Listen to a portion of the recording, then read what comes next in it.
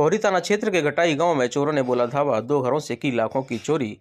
शिवपुरी ज़िले के पौरी थाना क्षेत्र से खबर आ रही है, जहाँ घटाई गाँव में चोरों द्वारा दो घरों में लाखों की चोरी की वारदात को अंजाम दिया गया है। सूचना के बाद मौके पर पहुँची पुलिस सहित डॉग स्क्वाड टीम ने वारदात की पड़ताल शुरू कर दी है। घटाई गाँव के रहने वाले द्वारका ने बताया कि उसके घर के एक कमरे का कुंदा तोड़कर कमरे में रखे एक लाख रुपए नकदी और सोने चांदी के जेवरातों को चोरी चोर कर ले गए हैं।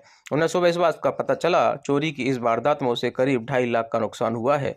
बता दें कि चोरों ने इसी गाँव के रहने वाले नरेश धाकड़ के घर को निशाना बनाया है। नरेश धाकड़ का कहना है कि चोर उसके कमरे का ताला तोड़कर पैंतीस हज़ार रुपए नकदी दस किलो चांदी और सोने चांदी के जेवरात समेट कर ले गए। चोरी की इस वारदात से करीब दस लाख रुपए का नुकसान हुआ है। आपका? द्वारका। कौन सा गाँव है जी?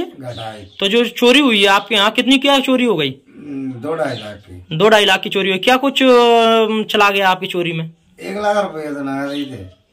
और आला करधौनी बोर मंगलसूत्र। मंगलसूत्र और बिछोड़ी बिछोड़ी तो आपको ये कैसे क्या मालूम पड़ा फिर? सुबह कैसे पता पड़ा कि चोरी हो गई? सुबह हम उठे थे तो मतलब जो किवाड़ खुलाया और जब कुंदा कटा मिला। अच्छा तो इसको ये सूचना पुलिस वगैरह को दी फिर आप लोगों ने? हाँ। तो पुलिस आ गई कि नहीं आई अभी? आ गई। अच्छा। है आपका? तो जो आपकी चोरी वगैरह हुई है जो आपके गाँव ग्राम घटाई में है तो कितना क्या कुछ नुकसान हुआ है? हो दस लाख रुपए का नुकसान हुआ है। दस लाख रुपए का? क्या कुछ नुकसान में हुआ है? उसमें नो मान दस किलो चांदी गई और आठ दस थोड़ा सोना गया और कुछ नकदी वगैरह? पैंतीस हज़ार रुपये नकदी गई अच्छा। तो इसकी आपको कैसे जानकारी मिली कि ये चोरी वगैरह हुआ इस सुबह कैसे पता पड़ा आपको? चार बजे मतलब हमारी मतलब घर से आई थी तो उनने मतलब देखा तो ताला मतलब टूटा हुआ मिला।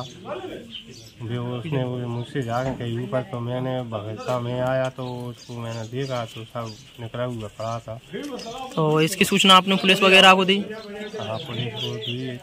पुलिस आ गई तो गई उन्हें इंक्वायरी की है क्या कुछ कोई संदेह वगैरह आपको किसी पर? अब ठंडी वगैरह बैठे अभी निगाह में कोई नहीं है मतलब है नहीं बेचे हाल फ़िलहाल तो।